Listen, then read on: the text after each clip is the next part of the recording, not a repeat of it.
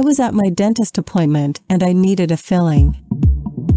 The dentist let me decide which place on my teeth I preferred the filling to go. I chose the front teeth. As the dentist got more deeper inside of my mouth, she noticed that one of my teeth on the front had too much bacteria and needed to be extracted out. I felt sick and it started to enter into my brain.